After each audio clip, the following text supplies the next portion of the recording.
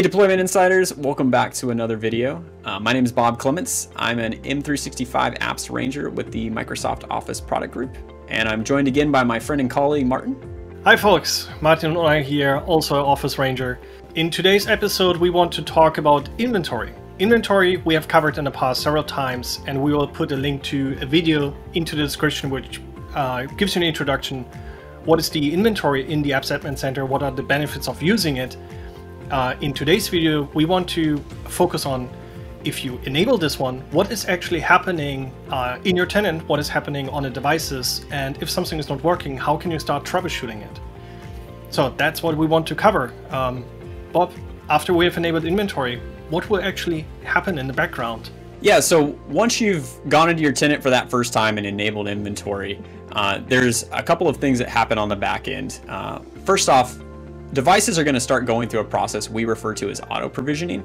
And auto provisioning is basically a mechanism that ensures devices automatically onboard with the inventory service.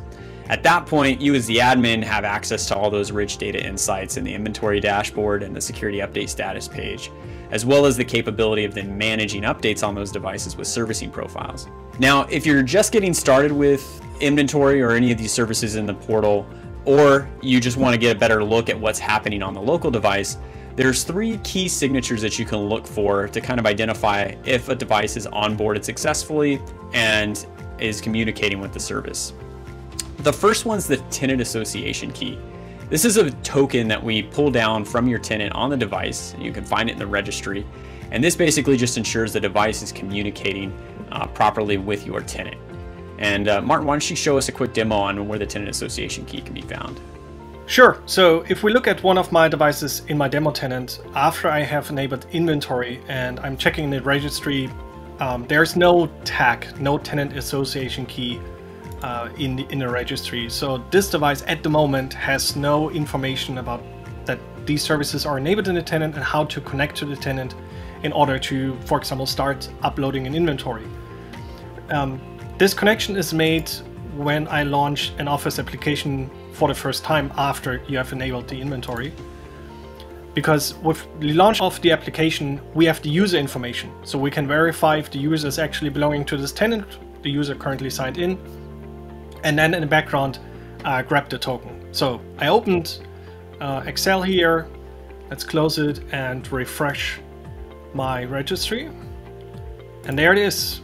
Now in the background it had pulled down the tenant association key and wrote it into the registry and going forward it can use this token to make the actual connection. Okay, so that's the first step. Your device is now aware that there is a tenant with an enabled inventory uh, service and it has made the connection. So Bob, what is next uh, happening on the device? Right, so after we have that tenant association key, there's some other signatures on the device. The second one would be a scheduled task that gets created. Now this scheduled task you can find by opening Task Scheduler and navigating through the directories Microsoft and then into the Office folder here. This task is called Office Serviceability Manager.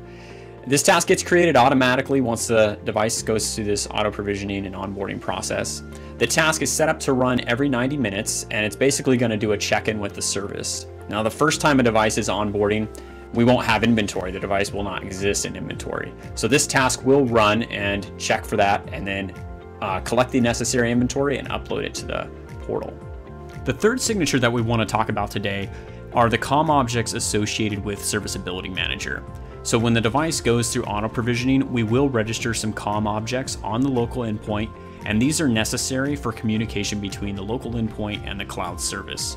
You can check for these COM objects by opening the Component Services Microsoft Management Console, then browse down to the COM Plus Applications directory. If the device has already started with auto provisioning, you should find a COM Plus application here called Office SVC Manager Add-ons. You can drill down into here and open up the Components directory to find all of the COM objects registered for Serviceability Manager. If now, when the device is onboarding, we'll expect a minimum of two objects created. Uh, the first one's going to be policy object and the second one's inventory object. Again, both of these need to be present in order for the device to be showing up in inventory. The third one here, manageability object, this one won't appear until the device is targeted by a servicing profile. So if you're just getting started with inventory and you don't have servicing profiles engaged yet, uh, it would be expected that manageability object is not present. Now with these objects all registered and the device uh, running the scheduled task that we talked about earlier, we should hopefully see the device present in inventory at this point. So Martin, what would you expect to happen next? Um, as I mentioned, hopefully we can see the devices in the inventory. So that's basically the third step. So let's take a look at the portal. Usually within less than 30 minutes, you should be able to see the first devices popping up in inventory. So let's click on inventory. And if you see these reports being populated with data, that means that the first device is already uh, reported, reported in and uploaded in inventory. Uh, you can always click on show all devices to get a full list of all the devices which are already um, have made the connection and uploaded in inventory. If you're looking for a specific device, click on the column header and type in, for example, the, the name or par parts of the name, hit filter and see if the devices that you're specifically looking for are already listed or if you want to look for specific versions or maybe the oldest versions uh, you can of course just uh, sort the list. If you want to do more advanced operations uh, you can click uh, export. There's an export button here and once the export is ready um, this text will be shown. You click, can click then download now uh, download the CSV file, import into Excel, and then go completely crazy. For example, uh, building Power BIs to to get uh, customized reports or something like this. Uh, I want to call out that in the health section, the security update status is also based on inventory data. So with the devices reporting in, you will also uh, be able to have an up-to-date report on how is security currency looking like in my environment. All right, so inventory works. We now want to take a closer look if something is not working. So kind of how do you do troubleshooting? Uh, we start again at step number one, which is uh, getting the tenant association key. There are several requirements in, in terms of what must be enabled and available on the devices. So the devices must run a certain version of Office. So of course the Microsoft 365 apps, these are the only supported application suite.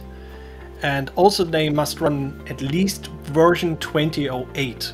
So roughly the August update from, from 2020.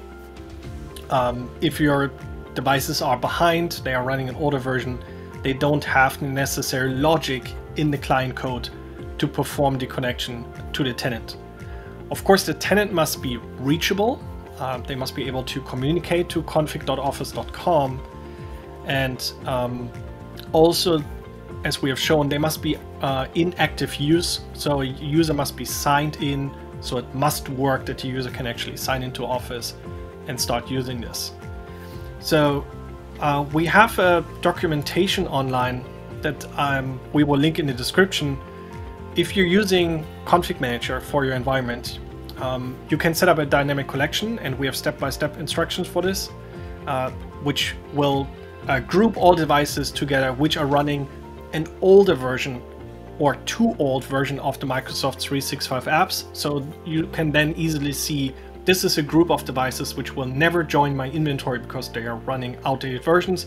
So perform an update on all the devices or just reinstall the M365 apps with a current version, and then also these devices should be able uh, to connect pretty quickly. Um, the other item, what we have seen with customers, is if you have disabled WAM, so the modern way of authentication for, for any reason, it's not recommended to do this, but if, if it's disabled in your environment, you're not going through the modern authentication flow, and this prevents the Office client from uh, fetching a, a tenant association key. So WAM must be enabled, uh, which it is by default, so only if you have disabled it in your environment, you have to revert this. Um, these are the typical cases why devices are not able to fetch a TAK. Um, if they meet all these requirements, they should be able to at least or perform the step number one.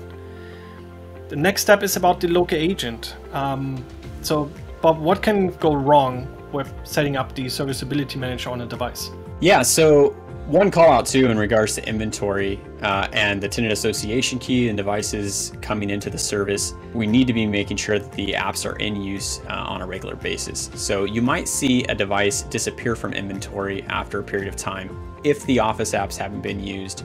Um, you might also see the tenant association key disappear from a device if the Office apps haven't been used.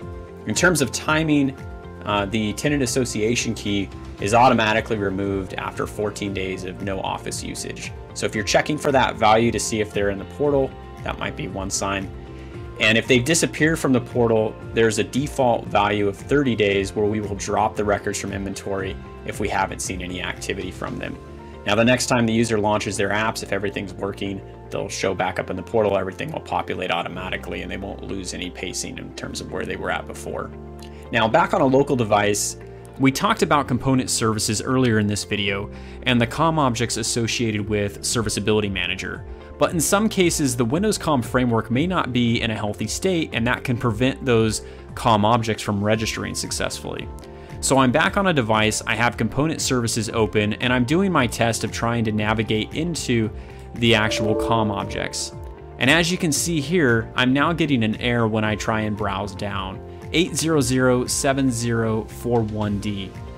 Uh, this is attributed to a specific registry value, and if I open up the registry, I can see here under Microsoft COM 3, the COM Plus enabled value is set to a 0. I'm going to go ahead and flip this to a 1, save that setting, and then restart the COM Plus system application service. Once that's complete, I can click OK here and now refresh this and try browsing in and once again I'm able to access my objects. That's one scenario we've seen in some environments. Another one that's more common are out-of-date drivers. Some device drivers can impact the COM framework, and that's a relatively easy fix. Just ensure the drivers are up to date to the latest manufacturer versions.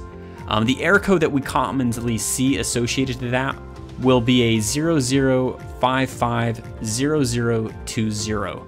If you're getting that in the catalog error dialog box, then uh, go ahead and update those device drivers. All right, so this was troubleshooting step number two, um, the, the agent or serviceability manager setup on the device. Um, so for step number three, kind of seeing the device in the uh, in the portal, there's not really a troubleshooting step. Uh, it might be important for you based on the policies in your environment or in your organization um, that you check in with a security officer or a privacy officer maybe first before enabling inventory because we're uploading um, a bunch of information from the device related to the Microsoft 365 apps uh, as, as well as some uh, identifiers of the device, the device name, um, which user is using Office, if macro files were used, yes, no. And we have a full breakdown of all the information um, we collect from a device and we will put the link into the description uh, so you can review this and maybe share it with the appropriate department um, or body in your organization to get an approval to actually collect this information. So these are kind of the, the first two, three, four troubleshooting steps. If after all these steps it's still not working, so you check everything we have talked about and you're saying, yeah, should work, but it doesn't, um, then is a good point in time to open uh, a support case with Microsoft. Um, so through your uh, support contract or through your Microsoft 365 admin portal, um, whatever your support model with Microsoft is, uh, file a case, describe uh, what the issue is, which troubleshooting steps you have already done, and then a support engineer will um, help you to further troubleshoot what is preventing the device from uh, showing up in the inventory. I think we have everything covered. Is there anything left, Bob, that I forgot? Excellent. I think that covers everything we wanted to talk about in terms of deep diving into the inventory service, onboarding, and how all of that works. We also have a great companion blog that we'll share in the description that we uh, posted on the tech community site that goes through a lot of the same items um, in a different format. Uh, if you want to stay up to date in terms of what's coming out, we have a lot of great new features that we plan to be announcing here soon. Uh, please click the notification icon, the subscribe button, so you can see those videos as we release them. Also, if you'd like to join us over on the Microsoft 365 Tech community, uh, that's again where we post a lot of different blogs about these features, as well as uh, the open discussion forums where we engage with IT admins all around the world. Uh, links to everything we've talked about and uh, any other important resources will be down in the description. And uh, until next time, keep on deploying.